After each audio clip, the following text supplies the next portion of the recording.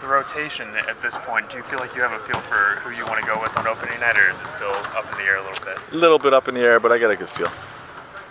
Glenn, obviously, there's a lot of depth at the wing, but he's looked very good in the preseason. Has he made a case for minutes early in the year? Absolutely, he'll be in the conversation, and uh, you know, I feel I feel very good that if we had to put him in a game, we'd, we'd get uh, quality play. Do you feel like he's exceeded your expectations coming into camp? No question, absolutely. Yep. What's been the biggest surprise, I guess, with him? Well, just uh, you know, I think just his floor game. You know, I mean, he's not just shooting the ball well, but he's making pretty good decisions out there. Um, you know, you feel good when he's when he's making a basket attack or something that it's it's not going to be a mistake that, it, that something good's going to happen.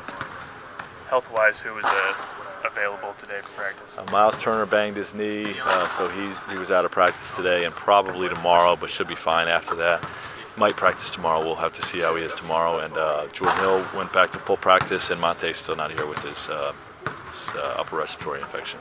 You're expecting everyone should be available up opening night? Yes. How would you describe preseason? Is it annoying? Do you like it? Are you ready for? I, it, it is annoying, and I do like it. If that makes sense. Expound.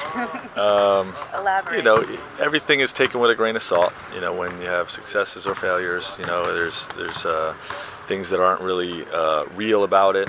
Um, but I, I love just the the ability to try certain things, to be experimental, um, to you know allow yourself some time to work through some mistakes and uh, you know getting through getting into a rhythm on both ends.